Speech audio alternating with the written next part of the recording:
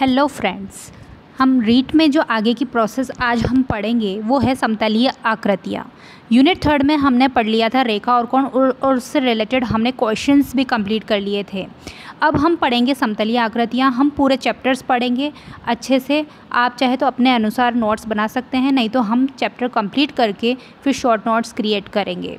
Okay और questions साथ साथ हम प्रैक्टिस करेंगे। उसके बाद इंक्लूडिवली मतलब कंप्लीट हम उसके क्वेश्चन सॉल्व करेंगे। ओके तो आइए पढ़ते हैं आज हम समतलीय आकृतियाँ। ओके लेट्स स्टार्ट ये देखिए, कई तरह की समतलीय आकृतियाँ आपको दिख रही है।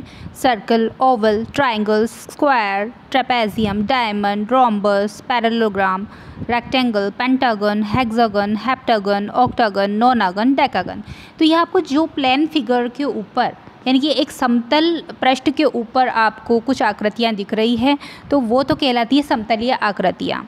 कुछ आकृतियाँ हम पढ़ते हैं टू डायमेंशनल द्विवेमीय और कुछ पढ़ते हैं हम त्रिवेमीय। तो जो एक ही पृष्ठ पर एक्स और वाई एक्सिस के अकॉर्डिंग बन जाती है और समतल बनती हैं तो उनको तो बोलते हैं हम समतलीय आकृतियाँ या प्लान फिगर्स ओके तो वो तो होती है सभी की सभी द्विवेमीय आकृतियाँ। और जो थ्री यानी कि एक्स और वाई के अलावा भी जेड एक्सिस के अंदर बनती है तो उनको बोलते हैं हम त्रिविमीय आकृतियाँ। यानी कि जो उभरती हुई आकृतियाँ, जिन्हें हम ठोस आकृतियाँ भी कहते हैं, वो बनती हैं तो उनको हम सॉलिड फिगर्स भी कहते हैं। उनकी उभरी हुई आकृति के कारण ऐसा लग, ऐसा लगता है, ऐसा प्रतीत होता है जैसे वो हमारे सामने ही उपस्थित हैं। जबकि ये ऐसा लगता है इन समतलीय आकृतियों को देखते हुए कि जैसे इनको एक कागज़ के ऊपर चित्र चित्रित किया गया है। ओके तो आपको समझ में आ गया होगा कि एक समतलीय पृष्ठ पर जब आकृतियाँ बनती है एक्स और वाई एक्सिस के सापेक्ष में तो वो तो होती हैं समतलीय आकृतियाँ प्लान फिगर्स ओके। उसके बाद अगर हम त्रिविमीय आकृतियों के बारे बात करें तो एक्स वाई के अलावा एक जेड एक्सिस भी होती है तो उनको बोलते हैं हम ठोस आकृतियाँ सॉलिड फिगर्स तो हमारे जो रीट के सिलेबस के अंदर यूनिट थर्ड के अंदर पहला चैप्टर तो हमने कंप्लीट कर लिया, रेखा और कोण। लाइन्स एंड एंगल्स, उसके बाद जो नेक्स्ट चैप्टर है, वो है समतलीय आकृतियाँ। आइए, आगे देखते हैं। हम पढ़ेंगे इसके बारे में। कुछ समतलीय आकृतियों की हमने डेफिनेशन देख ली है, हमने समझ ली है कि जो समतल पृष्ठ पर बनने वाली आकृतियाँ, जो कि द्विमीय आकृतियाँ होती हैं, उन्हें कहते हैं हम समतलीय आकृतियाँ। ओके, अब इन समतलीय आकृतियों के अंदर कई तरह के बहुभुज बनते हैं, इनको पॉलीगन्स बनते हैं, उनके बारे में हम देखते हैं। तीन या तीन से अधिक भुजाओं से मिलकर बनी बंद आकृति बहुभुज कहलाती है। बहुभुज दो प्रकार के होते हैं। एक तो होता है उत्तल बहुभुज और एक होता है अवतल बहुभुज। यानी कि एक तो होता है कॉनके कॉन्वेक्स पॉलीगन और एक होता है कॉनकेव पॉलीगन। समझ में आया? तीन या तीन से अधिक भुजाओं से मिलकर बनी बंद आकृतियाँ। अब ये जितनी भी समतलीय आकृतियाँ हम देख रहे हैं, वो सब कैसी हैं?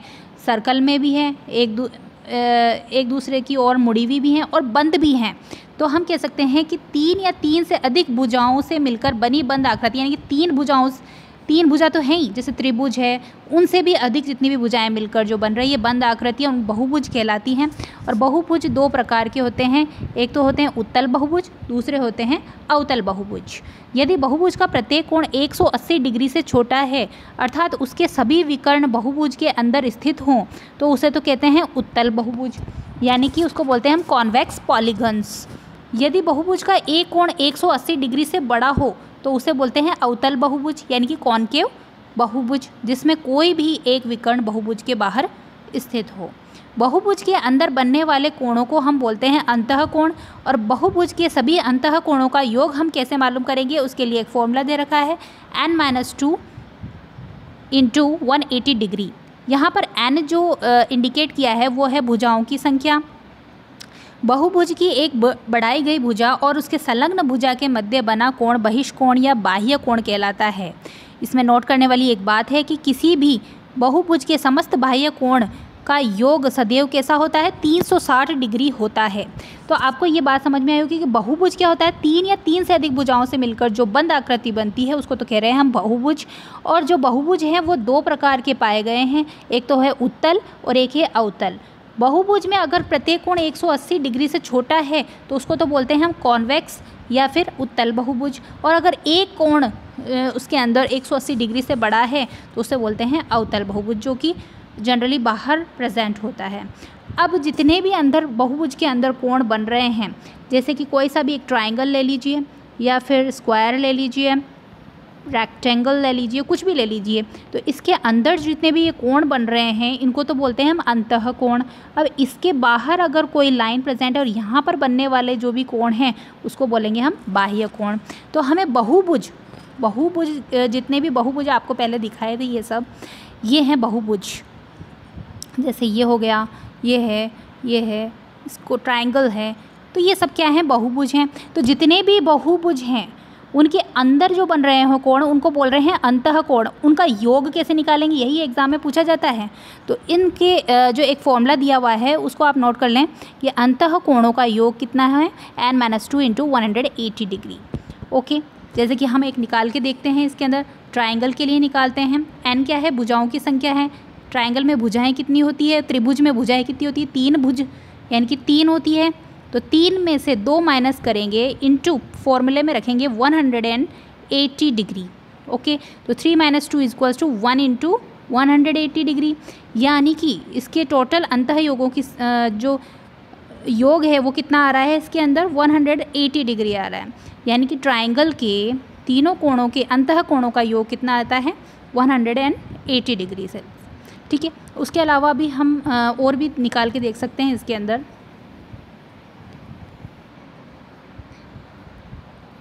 ये देखिए, ये ट्रायंगल का निकाला था, अब स्क्वायर का निकाल लें, चाहे पैरेलल ये ट्रैक्टेंगल का निकाल लो, किसी का भी निकाल लो इस फॉर्मूले की हेल्प से। हमें अंतः कोणों का योग जब भी निकालना है तो हम इस फॉर्मूले का यूज़ करेंगे। तो अगर जैसे स्क्वायर का निकाल लिया, इसमें भी चार कोण है, इसमें भी चार कोण है तो ये हो गए चार माइनस दो into one hundred eighty degree four minus two equals to into one hundred and eighty degree. Two into one eighty कितना हो गया? Three sixty degree. तो जितने भी अंत कोण है स्क्वायर के अंदर, उनका टोटल एडिशन या टोटल जो योग है, उसको किसके इक्वल रखना है हमें? थ्री सिक्सटी डिग्री के इक्वल रखना है। ओके तो ये तो था बहुभुज और इनका अंत कोणों का योग और इनके प्रकार। आगे देखते हैं हम।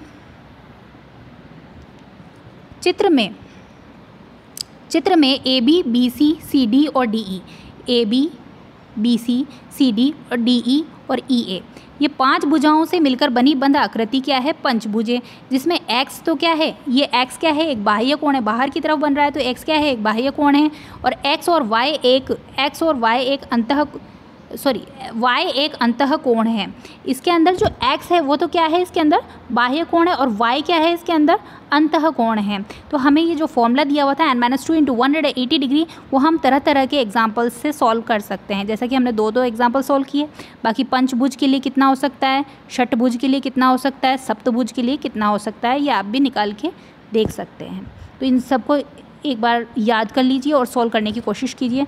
उसके बाद आता है सम बहुभुज अभी तक हम पढ़ रहे थे बहुभुज। अब है ये सम बहुभुज आइसोपॉलीगन्स मीन्स ये है कि ऐसे बहुभुज जिसमें समस्त भुजाएँ व समस्त कोण एक समान हो तो उनको कहते हैं सम बहुभुज अगर जैसे त्रिभुज की तीनों भुजाएँ मतलब उनके जो कोण हैं, वो समान है तो उनको क्या बोलेंगे हम?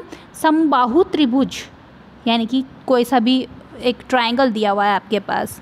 उनके तीनों कोणों की जो वैल्यू है वो क्या है इक्वल है।